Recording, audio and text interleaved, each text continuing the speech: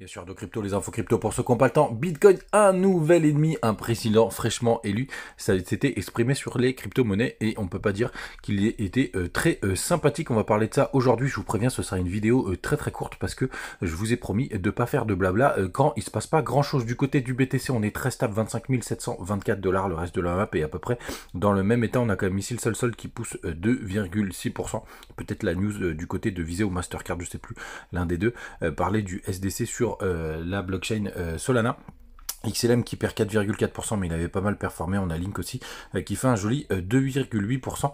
J'espère qu'il va bientôt décoller celui-là. Je ne fais que l'attendre. Du côté du long short ratio, les gars, Toujours une majorité de longueur. On a eu des fundings qui sont passés négatifs pendant un certain temps. on a un petit peu d'achat sur le spot, mais rien de bien méchant. Et les, open interest, c'est-à-dire le nombre d'ouvertures de position, sont vraiment très très calmes, sont vraiment au beau fixe. Du côté du daily, il se passe pas grand-chose. Hein. On est toujours en train de latéraliser, même si on a fait des petits pinks. On a un nouveau range qui se forme. ah bah tiens, on est sur le 1 heure un overrange qui se forme entre les 25 euh, 655 et euh, vers les 26 euh, 800 dollars, 25 800 dollars pardon. vous voyez ce petit range qui est en train de se faire former. Pour le coup, je suis assez, assez pour un rebond. Vous le savez, vous le savez, je pense qu'on devrait avoir un rebond à minima dans le milieu de range vers les 26 000 dollars, voire les 20, voire un peu plus haut. Mais non, c'est vers les 26 000 dollars.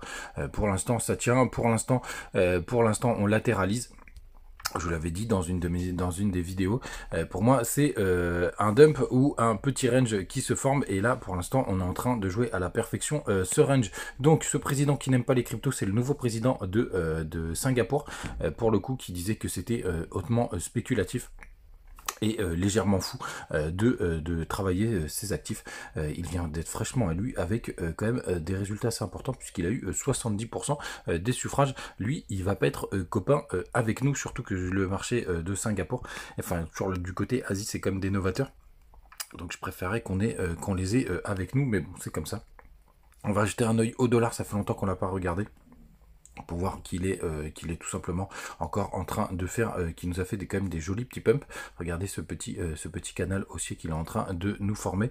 je ne sais pas s'il a été chercher quelques stops. Oui, un chouille, qu'est-ce que le stop qui était juste au-dessus? Faudrait vraiment qu'il ne vienne pas casser quand même nettement ce point.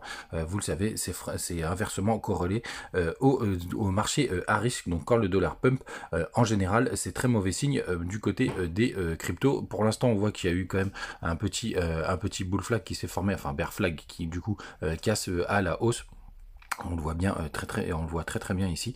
Euh, pour l'instant, on devrait pas dans pas longtemps euh, toucher la target. J'espère que c'est pas un retournement du dollar, les gars. Il va falloir le surveiller de très très près. N'hésitez pas à nous rejoindre sur le canal Telegram, comme dans mon partage des news, comme YouGirl qui nous a partagé ce matin, Grayscale qui demande à la SEC de, faire un de se voir rapidement pour pouvoir valider les, les bitcoins ETF. On sait qu'on attend ça avec grande impatience puisque ça ramènerait beaucoup de de cash euh, sur le marché euh, crypto. Vous savez tout les gars, on se retrouve comme d'hab demain. Ciao